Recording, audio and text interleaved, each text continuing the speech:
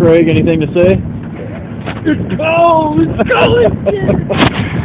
Uh, we just pulled into Fargo, North Dakota. Feels like We're next to a degrees. alien. We got the space alien right over there. Uh, that's uh, chilly. But, uh, we're here, and we're, uh, we're awesome. That's true. It's true. It's very true.